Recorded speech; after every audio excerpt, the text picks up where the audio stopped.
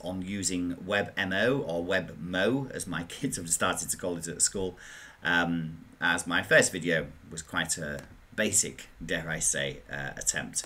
So I've been playing with it this week, and um, hopefully I can share with you a little bit more of an expert-ish idea.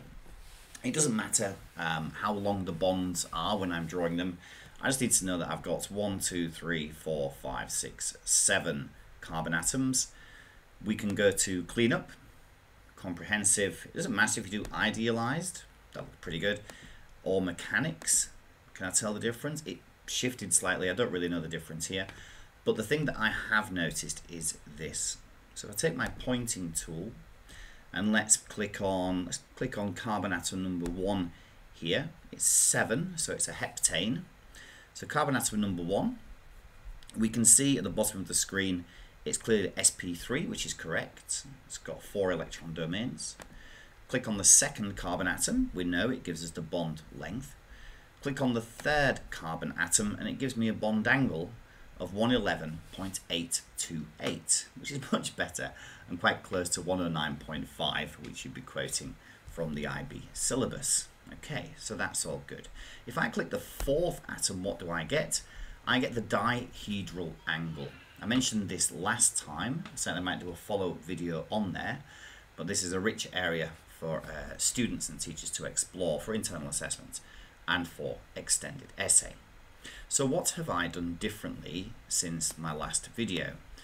I have learnt to only play with a fresh molecule. Okay, so if I wanted to say add a double bond into here randomly between carbon atoms 5 and 6, I can just drag and drop it. I can stick that in and I could delete hydrogen from each. But it doesn't seem to like that. It only seems to like you to play with a new molecule. Okay, so each time you're building a new molecule, I'm spending 10 seconds to build my new molecule fresh and then everything works absolutely fine. Okay, so it matters the order we click it. They're all going be SP3, hopefully all going to be the same bond angle, 111.828, 111.969, there or thereabouts. 111.959 if my uh, eyesight is working at this moment in time.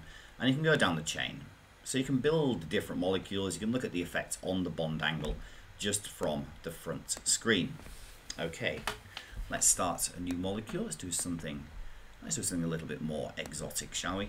Let's get our carbon atoms, and we'll get uh, one, two, three, four, five, and six. We'll clean this up. Let's go mechanics. There we go, we've got some cyclohexane. Cyclohexane, total strain energy, that's there, kilocalories per mole. It's an easy convert into kilojoules per mole. Just Google it, have a look if you want to look at the strain energy of a molecule. If you want to research what the strain energy is, that would be a great little uh, research activity for you to explore. That can be complemented very nicely with, if we look at the uh, I love this button here, all right, the electrostatic potential. So it does a little calculating property and you get the progress bar and then you, get, you go, oh, look at that. This is like textbook beauty, isn't it? But let, let's have a look at, as well as it being absolutely beautiful, let's have a look at how this can actually be useful for us as chemists. Okay, so back, back, back, clean up. There we go, it's practicing. uh, calculate, I'm going to go to electrostatic potential. There we go, calculating again. Just had to go through because I did a random click. And, and, and here we have it. So now I want to I want to just move this thing around so I can play with it and have a look. Oh, there we go. So as a as a learner or as a as a teacher, this is beautiful, and we can see the higher regions of electron density and the lower regions of electron density. And what a beautiful model to show students. Particularly, I was using this this week. We were introducing bonding. And we are doing the standard molecules, carbon dioxide and water and ammonia and all the things that the IB love. And I could just draw them, do the electrostatic potential, and the kids could, could look, see that, we could play around with it. And instead of my uh, poetic words telling them about this, you know, region of space where it's highly likely or highly probable to find an electron, they can actually physically see these now. Okay, so that's very nice. Let's do another new one. Uh, what should we build this time? Let's have a look. Let's go for something a bit more strained, so I'm going to get a bit more higher energy molecule. Um, so I just wanted to, I'd never make an artist, there we go, clean up, comprehensive, idealized, beautiful, so we've got cyclopentane here. Um, we could do the calculate, we could do the electron density, molecular orbitals, electrostatic potential, that's great, okay. We can get the strain energy, hit the strain energy in uh, calculate, and you're going to get the contributions to the overall energy of the molecule, all in kilocalories per mole, so you can easily convert to kilojoules per mole. Van der Waals forces, brilliant, totally IB syllabus. Torsional strain, torsional strain, look at it, it's to do with the uh, extra um, compression of the bond angle by virtue of it being five atoms in a ring rather than six, so it's, it's, it's uh, under stress. Uh, angle bend, bond stretching, you can look at a series of compounds and look at these different factors and perhaps graph them, and that's getting towards, getting closer to, a, to an IA sort of thing. Okay, so we can look up all of these things. The databases, the favorite databases here, PubChem, ChemSpider, we can read them there. We can get the NMR spectrum, the uh, IR spectrum, the UV spectrum. We can put different substituents onto the ring and then we can look up their different spectra and look at the effects on the uh, chemical shift in an NMR or the vibrational frequency in an IR, etc. Okay, so this actually puts a lot of things at our fingertips as chemists and is a very rich and easy way to look up different compounds that you could be thinking about. So that's great. Okay, that's not the purpose of this video. The purpose of this video is when you go and um, you move forward within the uh, WebMo software, there are these options here. There's GAMESS. I'm only using GAMESS. I know that you can use Gaussian. And I think NWChem is very good for certain applications. I'm not going to go there. Let's just keep it on GAMESS or games, as my kids are calling it.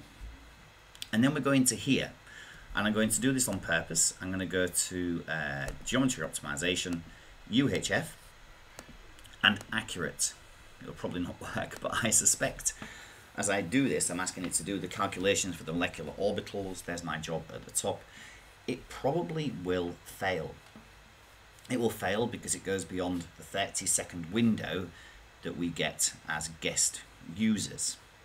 So it's running, it's got 13 seconds on it. Is that going to let me play? Let's just refresh and have a look, see what we get. Now it's at 22 seconds. Go on. Fingers crossed for once. I actually want it to fail so I can show you how to uh, defeat the fail and get around it for more complex systems. So only, it's, only, it's 34 seconds, that's definitely going to fail.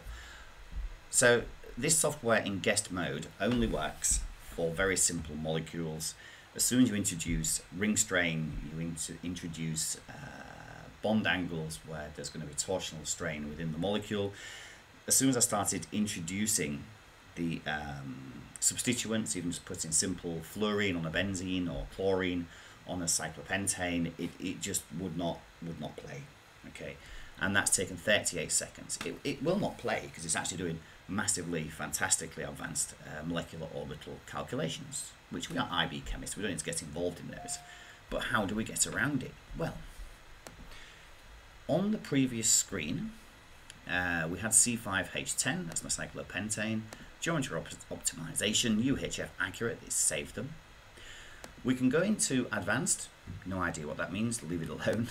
you can go into preview, go into preview, so job options at the top, go into preview and you can hit the generate button and what this does it generates a series of instructions to build or to, to calculate the molecular orbitals for any molecules which are too advanced for the uh, 30 second uh, guest parameters on WebMo. So what I'm going to do is I'm going to uh, shift click, I'm going to highlight that sequence of uh, numbers, looks like bond angles here, doesn't it? Uh, sequence of numbers, and I'm going to something called ChemCompute. ChemCompute.org, which is at the top, is completely free. Okay, so the WebMo software um, is a paid service after the 30 second window.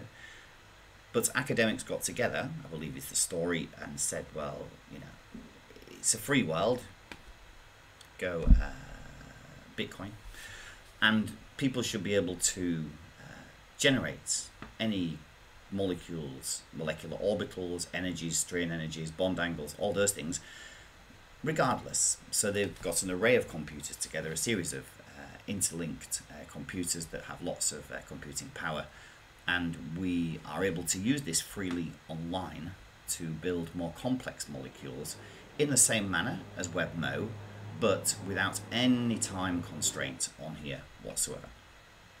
So when you go into ChemCompute, you want to hit GAMESS, the usual thing, GAMESS, which is here. And we want to submit a job. You will land in here. So GAMESS, submit a job. And you can submit your own files, which is here. It takes a little while for it to uh, wake up and to bring up the window into which you can paste your um, series of code from the WebMo software, which is in here. Have I got the correct one? So submit guide. Ah, here we go. Maybe it's this one. Ah, here we go. So sorry, my mistake. My bad. So it's in submit guided. Going to submit guided, and then input file is at the bottom here.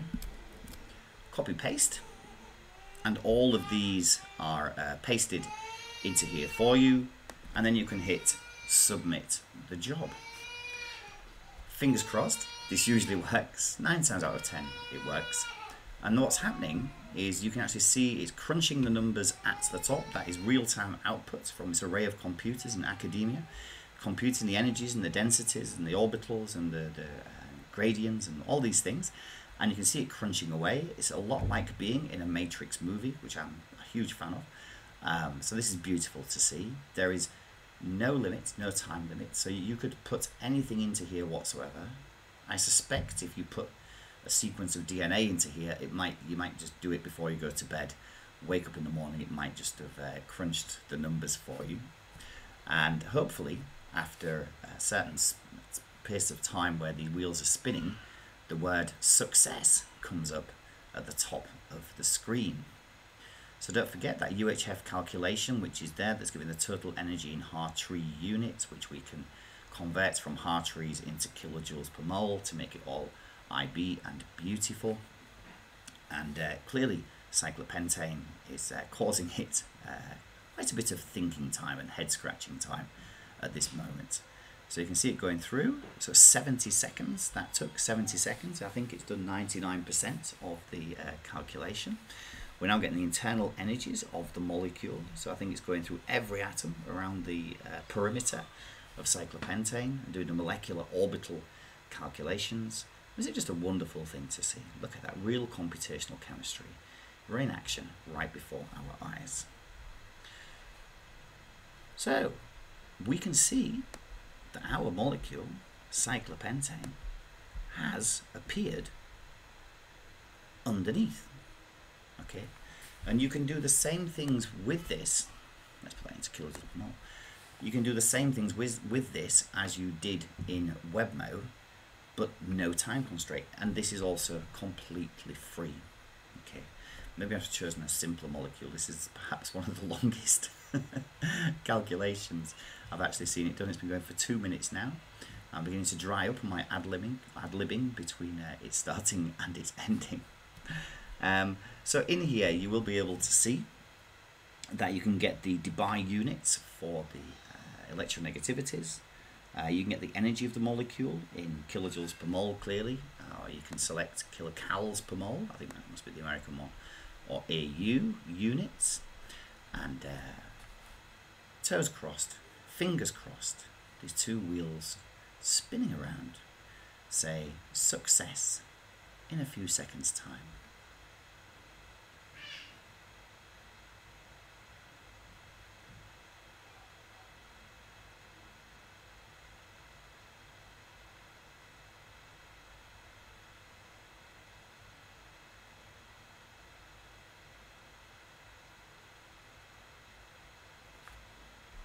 It's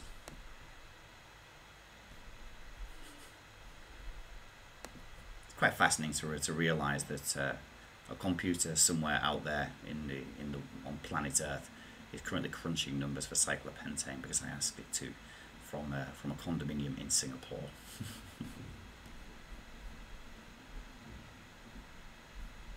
I'm happy with cyclopentane. You'll be able to click on them. You will be able to get the bond lengths, the bond angles, and the energies, and all those sorts of things that you would have got on the uh, uh, WebMo stuff. You will get the total energy of the molecule, and clearly you can also link out uh, to the uh, databases as well, and you can check them out on there. Okay. So what do we have so far? Uh, still thinking, still thinking.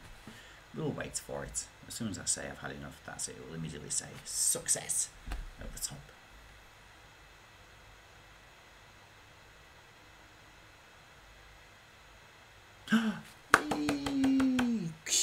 Beautiful. We have success. So that took four minutes to crunch cyclopentane. and what did we get from this?